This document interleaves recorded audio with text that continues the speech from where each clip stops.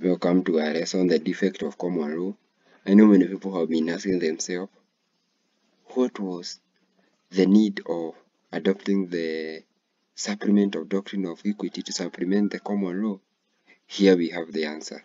But if, before we find the answer, kindly remember to hit the subscribe button in order to not miss any of my future content like this.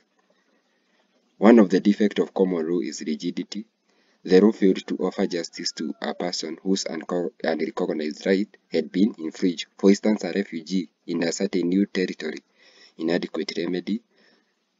The, the common law doctrine failed to offer enough remedy to some cases since common law remedy was in term of damage which was not applicable to all cases. Therefore, civil common law refused to failed to offer to differentiate between civil crime and criminal crime. So it treated them both as equal. trust, trust and recognition.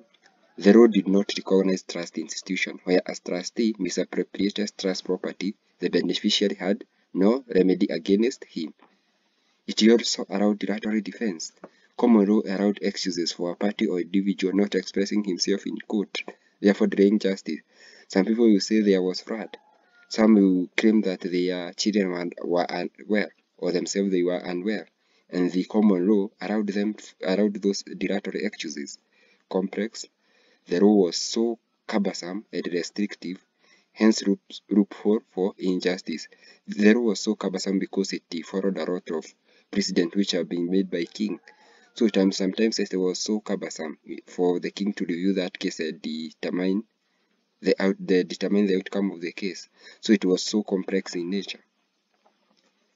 I hope I have answered the some of the defects of common law which made it possible to need the rights to adopt the doctrine of equity.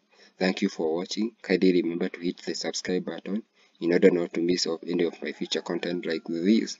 Thank you.